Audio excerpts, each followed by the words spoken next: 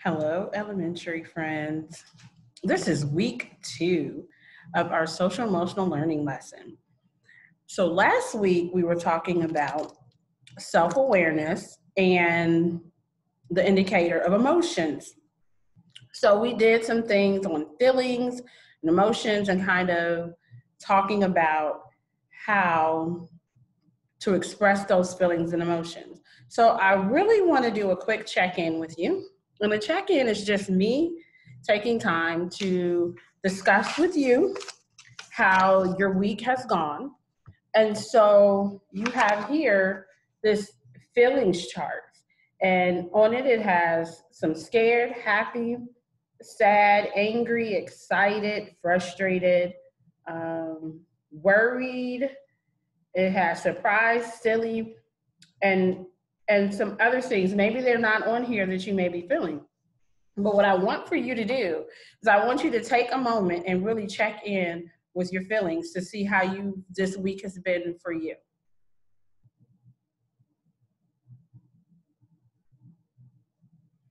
So I'm going to say this week for me has been a little busy and I've been a little um, frustrated at times, but I'm working through those feelings and emotions. And one thing you're to know about Miss Pledgure is that I'm to be honest about feelings so that you understand that adults have these feelings as well.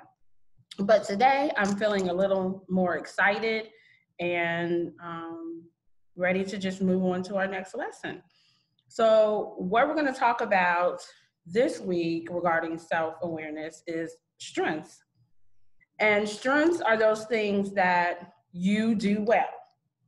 So I want you to stop and think for a moment and think about those things that you know that you do well because there's always things that we do better than other things. Those things that we don't do so well are called our weaknesses. But our strengths is what make us unique and happy.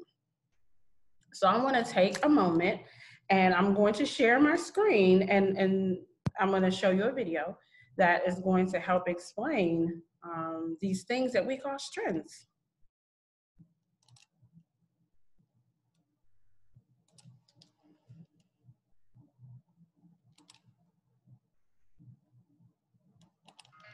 Hello, awesome students. You can call me Miss Meg, your social emotional learning coach. Today, we're going to discuss self-awareness and using your strengths. With self-awareness, you learn to appreciate your unique strengths. You should be able to name your strengths, understand how to use your strengths, and practice having a growth mindset. Let's look at a scenario. Braden is an amazing Dancing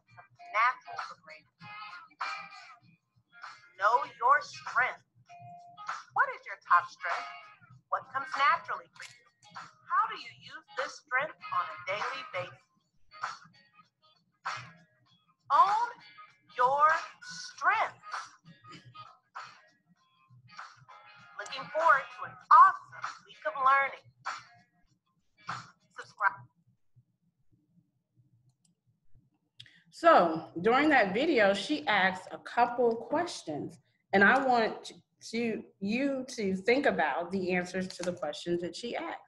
One was, what is your top strength? So what do you think is the one thing that you're really good at doing? Two, what comes naturally to you? Like what comes easy to you? Easy means, like in the video, dancing came easily to um, Braden in the video. So that's his natural talent. And then, how do you use your strengths on a daily basis? Like, so if you're really good at writing, for example, how do you use that daily? So I want you to stop for a minute, pause the video, and again, I want you to think about what is your number one strength? what do you do naturally? And then three, what do you do on a daily basis that shows or expresses that talent that you have?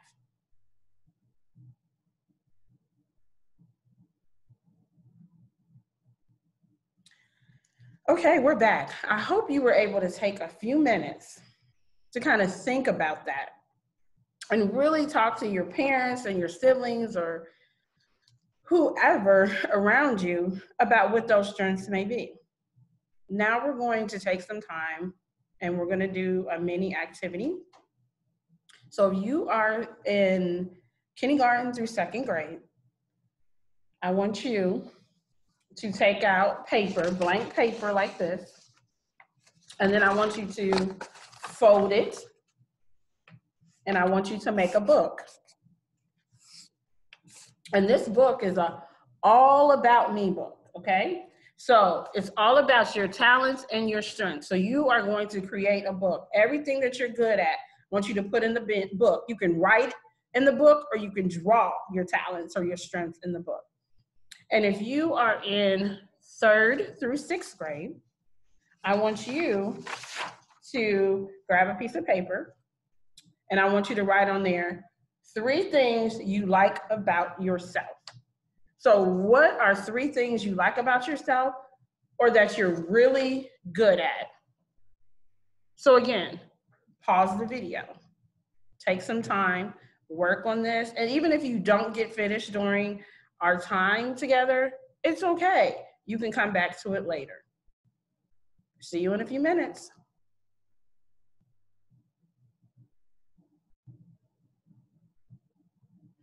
We're back. And I'm hoping that during that time and that lesson that you did, you realized that you have many strengths.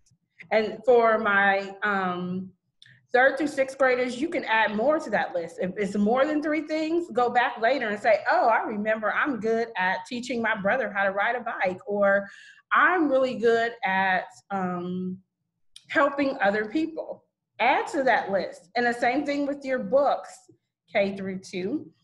Add more pages to your books. If you have a lot of strengths and a lot of things that you're good at, then I want you to take that time and I want you to create that book because it's your book to go back to and in those times when you're like oh i'm having a difficult time with this go back and say oh but i am good at this so how can this strength help me with the things that i'm not so good at. Okay?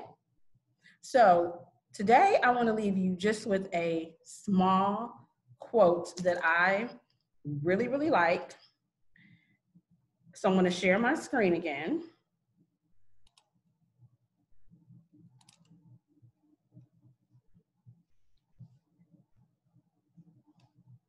Mm-hmm. And the quote that I have here, it says, nothing can dim the light that shines from within you. I'm going to say that again. Nothing can dim the light that shines from within you. Maya Angelou. Remember that. Remember that your light can shine as bright as you want it to, and that your strengths are those things that make you shine bright. See you later, friends. I will see you next week. I hope you have a wonderful, wonderful week of learning. See you later.